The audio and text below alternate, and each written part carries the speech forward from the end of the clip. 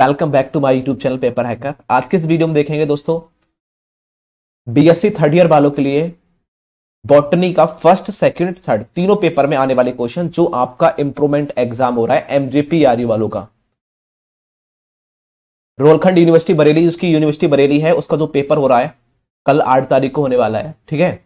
Chemistry का physics का geology botany math तो उनके लिए, देखो, आपको मैं बता दूँ एमसीक्यू जो क्वेश्चन आ रहा है, बहुविकल्पी क्वेश्चन ऑब्जेक्टिव टाइप जिसे क्वेश्चन बोलते हैं वो दस क्वेश्चन आएँगे, जिसमें से पाँच क्वेश्चन करने होंगे और ये बीस नंबर के होंगे बेटा। और ये जो बीस नंबर आपको मिलना है ना, बीस नंबर लेना चाहते हो तो हमारे एक एप्लीकेशन है ऐप है, बिल्कुल फ्री में हमने दिया है। उनके एमसीक्यू क्वेश्चन वहाँ दे रखे हमने एमसीक्यू क्वेश्चन उनको याद कर लेना, उनको याद करना, पढ़ के चले जाना, ज़िंदगी समझ जाएगी बता रहा हूँ।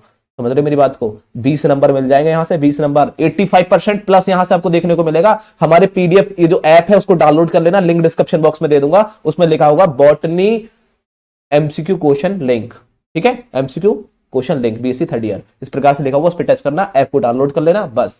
आपका बॉटनी का जिसका भी है जुलॉजी का है, वो जुलॉजी वाली वीडियो देख ले सेकंड केमिस्ट्री का तो केमिस्ट्री फिजिक्स वाला फिजिक्स मैथ वाला मैथ मैथ वाले एमसीक्यू क्वेश्चन अपना वो डाउनलोड कर ले मैथ वाले छात्र एम बीस बीस मतलब बीस नंबर यहाँ से आपके क्लियर हो जाएँगे, एक एप्लीकेशन से हमारी। डाउनलोड सब कर ले फ्री में, कोई दिक्कत नहीं, किसी से पैसे नहीं ले रहे हम लोग। ठीक है? एमजेपी आई रोलखंड यूनिवर्सिटी की बात करें? देखो ध्यान से।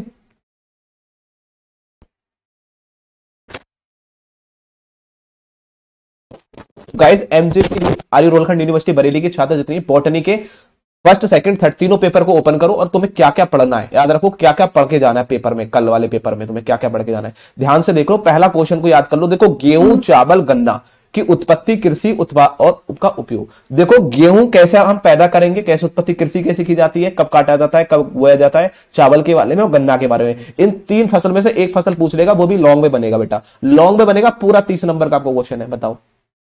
मस्त मज़ा आ जाएगा। अच्छी तरीके से क्वेश्चन कर लो बेटा, ठीक है? तो याद रखो लॉन्ग क्वेश्चन बनेगा पूरा। मोस्ट इंपोर्टेंट है, यहाँ से तो गन्ना की खेती के बारे में पूछ लेगा या चावल है गेहूँ की। सह संबंध का अर्थ क्या होता है? इसको पढ़ लेना सह संबंध किसे कहते हैं, ठीक है? पौधों में संरक्षण का निबंध। देखो, पौधों के संरक्षण का मतलब क्या है? प्लांट मतलब पौधे हैं हमारे, उनको हम कैसे संरक्षण करेंगे? उसको मतलब कटने से कैसे रोकेंगे? जो उजड़ रहे हैं, उसको कैसे रोकेंगे हम लोग? तो उसका निबंध एक लिखना है, इसको याद कर लेना है। उसके बाद में काई वर्ग परीक्षण मोस्ट इंपोर्टेंट है, काई वर्ग परीक्षण शॉर्ट में आपसे पूछेगा, इसको याद कर लेना। देखो, मसाले वाले पौधों का वर्गीकरण अच्छी तरीके, देखो, वर्णन। मसाले वाले पौधों को याद करेंगे, औषधि वाले पौधों के नाम, उनके वैज्ञानिक नाम वगैरह सब कुछ देखेंगे बॉटनिकल नाम जो होता है, वो चीज़ देखेंगे, ठीक है? उसके बाद में है दलीय फ़सलों, देखो, दलीय फ़सलों का जैविक महत्व, जो दालें होती है, उनका जैविक महत्व के बारे में लगा देंगे।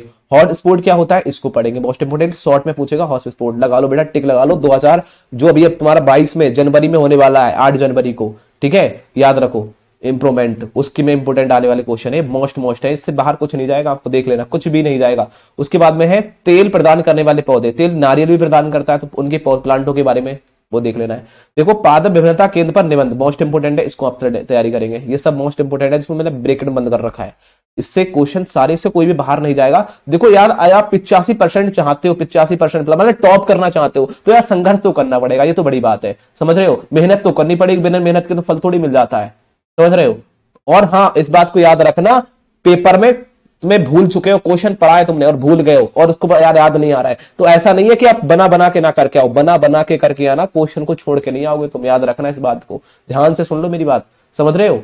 मज़ाक नहीं इसमें। कोई भी क्वेश्चन हो जाए, चाहे हार्ड हो, चाहे कुछ भी कुछ भी हो, बना बना के करे आना, चाहे कहीं की रामायण लिख देना लिख देना, लेकिन कॉपी भर के आना है तुम्हें। समझ लो अच्छी तरीके से। ठीक है?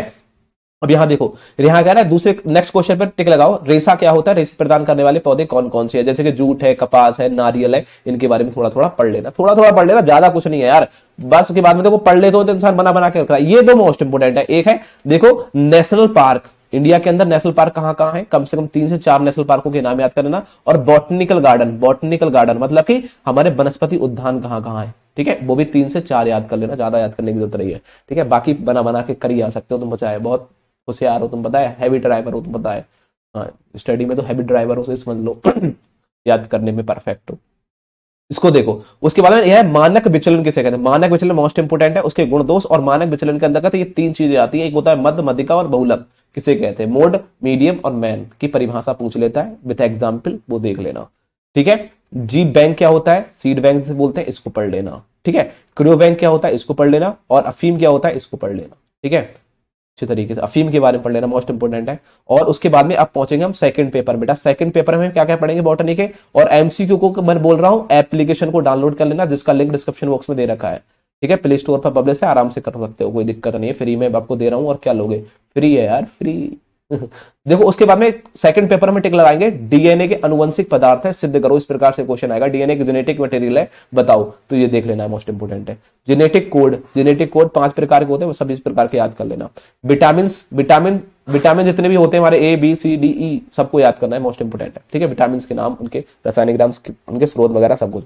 और वाटसन और क्रिक का द्वारा जो डीएनए द्विगुण मॉडल दिया गया था, उसको याद करेंगे मोस्ट इंपोर्टेंट है। और कार्बोहाइड्रेट क्या होते हैं, इसको पढ़ लेंगे। नेक्स्ट क्वेश्चन एंजाइम के बारे में तो आपको पता होगा एंजाइम की कार्यविधि के बारे में इसको पढ़ लेना है।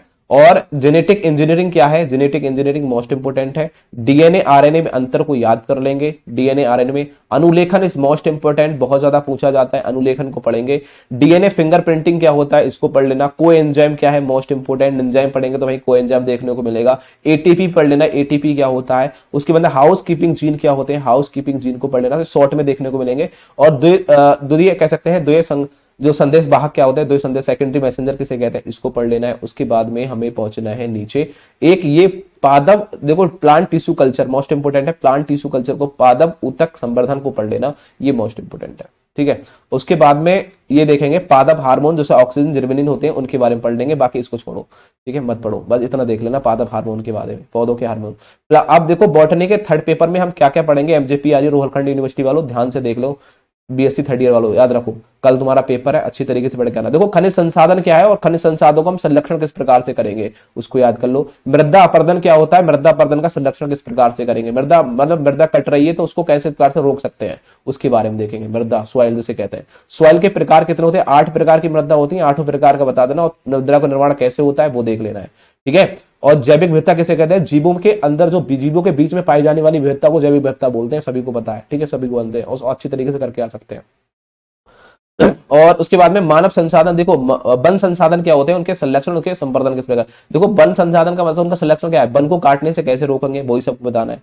और प्रदूषण, आपको पता है, एक पोल्यूशन बहुत, एक पोल्यूशन सौ परसेंट आता है। एक आपका प्रदूषण आएगा, ध्वनि प्रदूषण, मृदा प्रदूषण, एयर प्रदूषण, या थर्मल प्रदूषण, या रेडियो धर्मी प्रदूषण, कुछ पूछ सकता है। एक प्रदूषण को अच्छे तरीके से याद कर लेना, बना बना के लेके आना, बहुत अच्छी तरीके से। जैविक समुदाय क्या कहते हैं? तो जैविक समुदाय को याद कर लेंगे। उसके बाद में देखो तमाकू का मोजेक रोग और इसके नियंत्रण आप किस प्रकार से करेंगे। मोस्ट इंपोर्टेंट है, इसको याद करिए। तमाकू का मोजेक रोग तीन रोग बताऊँगा जिसमें आपको बहुत ज़्यादा इंपोर्टेंट है। एक तमाकू वाला और दूसरा गन्ना का और एक नींबू वाला। ये तीन ही याद कर लेना, इससे ज़्यादा कुछ याद करना मत करना, ठीक है? ये उसके बाद में अम्ल वर्षा कैसे कहते हैं, वो देख लेना है, और हरित ग्रह प्रभाव इफ़ेक्ट को देख लेना है, उसके बाद में नीचे जाने के बाद में ये देख लेना गन्ने का लाल सड़न रोग के और उनके उपचार के बारे में, और चिपको आंदोलन पढ़ लेंगे। चिपको आंदोलन पढ़ने के बाद में सॉइल प्रोफ़ाइल हो सके तो सॉइल प्रोफ़ाइल को पढ़ लेना शॉर्ट में पूछ लेगा आपसे।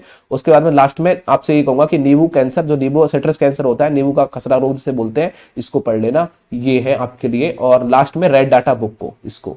बस ये थे 2022 के इंप्रूवमेंट जो आपका हो रहा है आठ जनवरी को, उसमें आने वाले क्वेश्चन तो आज की वीडियो कैसे लगी? कमेंट सेक्शन में आप ज़रूर बताएँ।